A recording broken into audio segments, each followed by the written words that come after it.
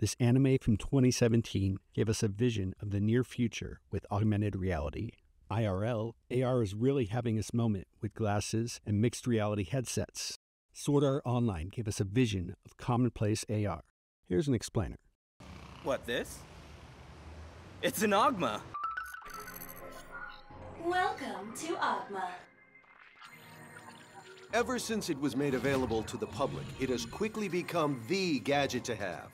Today, we'll look into the Augma, the next-gen wearable device. Here, they don't need special glasses. They have this neural interface Bluetooth headset looking thing.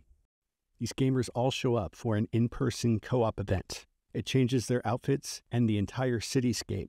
Everyone in AR sees the same virtual graphics. Buildings now look like fantasy towers.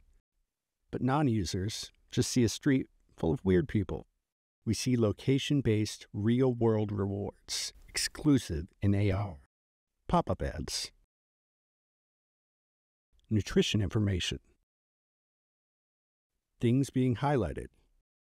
Name tags. An AI predicts the next move in a fight.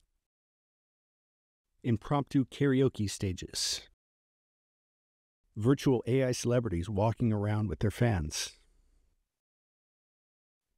And floating screens. So many floating screens.